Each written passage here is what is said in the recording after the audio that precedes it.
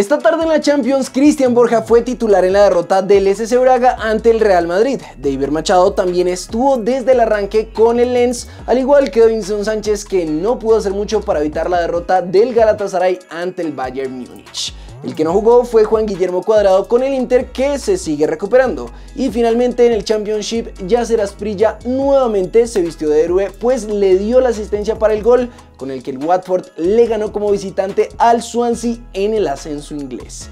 En Inglaterra, aunque casi siempre le tiran flores a Luis Díaz, esta vez fue criticado por el exjugador Gert Crooks, que aprovechó que Mo Salah estuvo en su once ideal para tirarle un poco de hate o críticas al Guajiro. Salah tampoco fue ayudado por Luis Díaz, quien se dio la vuelta al menos 5 veces para lograr un efecto dramático después de que Young le cometiera una falta. Mientras tanto, el egipcio ha vuelto a su mejor versión brillante, altruista y solidaria, y ha borrado el tipo de payasadas que ahora afectan a Luis Díaz. Es hora de que Mohamed Salah hable con Luis Díaz. ¿Ustedes qué opinan, cracks? Pasamos a Brasil, pues ayer Rafinha dio una entrevista y contó cómo James empezó a tener más minutos con Sao Paulo.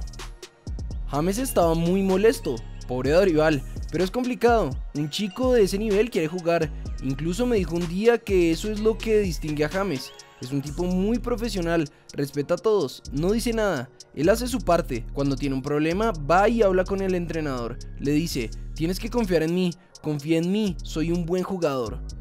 Ahora pasamos con nuestra Cele, pues Néstor Lorenzo aprovechó un evento para hablar de varios temas, entre esos dijo que quiere ganarlo todo con la Cele y que solo resta solidificar el juego y tener más carácter e ilusión, pero también habló sobre un posible regreso del Tigre Falcao a la convocatoria. Si Falca está en un nivel que amerite el llamado, va a estar, yo lo quiero siempre en el equipo, en el grupo lo quiero siempre. Es una excelente persona y le dio mucho al fútbol colombiano, pero lógicamente hay cosas que elegir en cuanto a los momentos, a la actualidad del jugador. Pasando con la sele femenina, varias de las nuestras siguen llegando a la concentración para los partidos amistosos entre Estados Unidos y dos de las más recientes en reportarse fueron Linda Caicedo y Lacey Santos. Se cerró la fecha 18 de nuestra liga con la victoria 1-0 de América sobre Huila con gol de Darwin Quintero.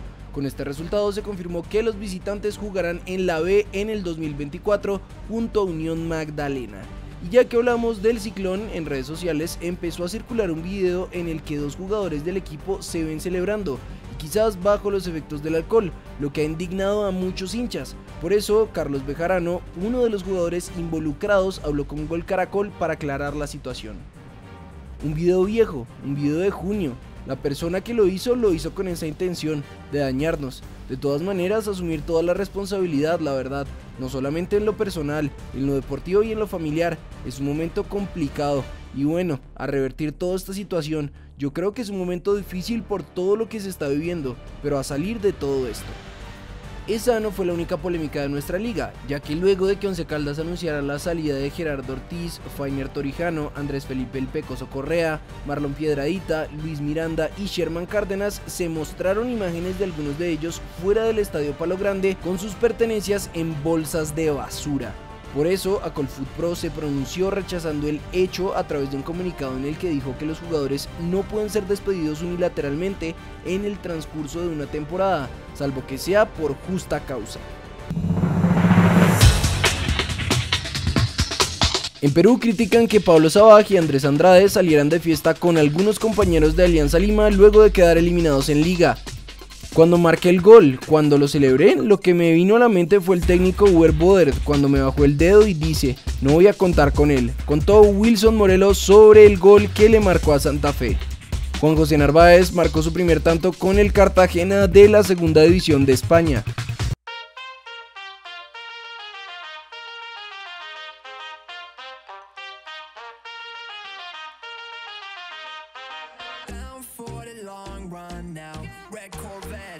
Top down. Calling up my digits in my Motorola And I'm speeding like I robbed someone. Falling and I'm